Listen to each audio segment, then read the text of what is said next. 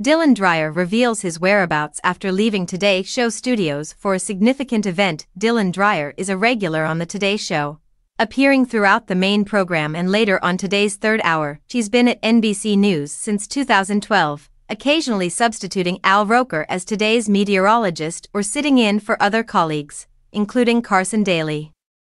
Dylan has also covered events such as the Kentucky Derby, the 2018 Winter Olympics, and the 2022 Macy's Thanksgiving Day Parade, due to her various appearances on NBC and its connected networks, she's become a familiar face. However, the popular meteorologist and on air host missed the third hour program this week as she left the Today Show in New York City. She had an excellent reason for leaving, traveling for a significant event she'd been involved with for several years, Dylan reveals her whereabouts after leaving today's studio for a big event NBC News meteorologist Dylan Dreyer appeared.